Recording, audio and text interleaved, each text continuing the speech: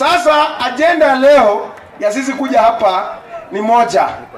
Unajua wamama, nyinyi mlinipatia sapoti kubwa sana, mka make sure kwamba mimi nikuwa kiongozi wenu, na nyinyi ile makofi ambayo mlikuwa mnapigania, hiyo ndio mlikuwa mnapiga, ndio ilinipatia nguvu zaidi, na hadi ikanipatia nguvu mpaka nikapata nika, nika, marafiki wakina engineer Sudi wakanipenda venye nyinyi mnanipenda hapa Mumias East constituency, na ndio venye nimependwa Kenya yote mzima na nataka pia niwaombe tena mzidi kunipenda zaidi, si ndio?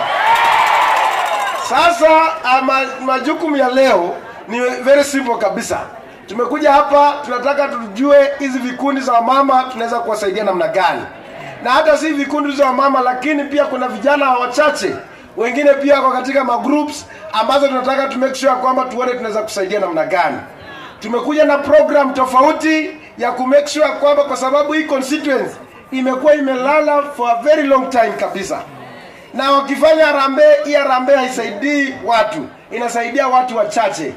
Lakini kasema this time round tunataka tujue, kwa sababu naangalia juzi, wakati tulikuwa tuna apply mambo yetu ya basari basari, tukiapply kila mtu anataka apply hiyo basari, zaidi ya watu elfu kumi na mnajua Peter Salasia anataka apatie kila mtu aende some na sisi pesa ambayo tuko nayo haiwezi katosha kupatia na kila mtu basari.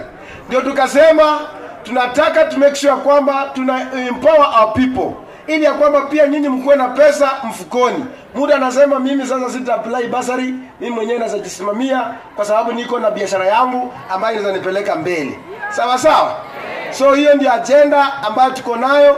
Tuko hapa na vikundi zaidi ya mia nne ambazo ziko hapa leo na hizi vikundi tunataka tuangalie kila kikundi mkuje na idea moja ama mbili ambayo mngependa muone ni kibiashara gani ambayo mnataka kufanya kama ni ya kufuga kuku mtuambie mnataka kufuga kuku kama ni ile ya ku- ku- kufanya mambo ya, ya, ya, ya agriculture ya ukulimaji mtuambie mnataka kufanya mambo ya agriculture kama wale anataka kufanya mambo ya kushona manguo mtuambie mambo ya kushona manguo.